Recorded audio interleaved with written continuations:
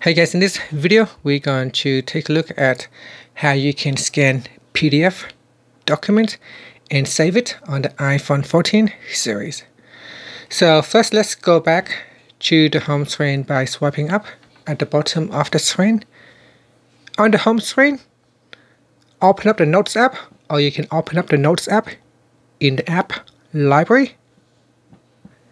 In here, you can start a new note and then tap on the camera icon. From the pop-up menu, tap on Scan Documents. Now you can place your documents under the camera and have it point at the documents. The camera will automatically try to detect the edge of the documents and it will capture and save the documents as a PDF file. Now continue to scan the documents. So hold your camera still and then if you have any more documents, you can continue to scan it. So here you can see it will continue to scan it. Just hold your camera still and point it at the document. Make sure the document is within the frame and continue to do that. Once you have finished, move the documents out of the way. You can preview the document by tapping on that. So you can preview the documents, you can crop it, you can rotate it, or you can change the color of the documents. So you can change it to grayscale black or white or color.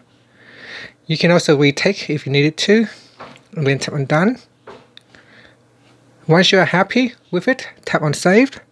Alright now the document has been inserted to the note. What you want to do is tap on the the document to open it. Then we can tap on the share button at the top.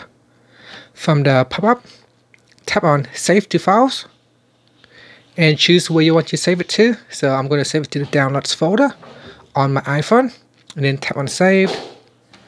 Now go back to the home screen and open up the Files app. You can also open up the Files app from the app library. And in here, tap on Browse at the bottom. Then tap on on my iPhone. We go down and tap on Downloads. This is where we have saved it to the Downloads folder and here it will shows you the PDF documents at 1046 which is just now.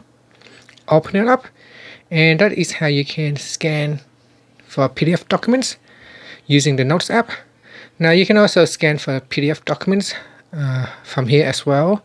So you can tap on the option button and then tap on scan documents and this will allow you to scan documents uh, from uh, the Files app directly. So you have a few different options. You can do that directly from the Files app or you can do that from the Notes app. And that's it. Thank you for watching this video. Please subscribe to my channel for more videos.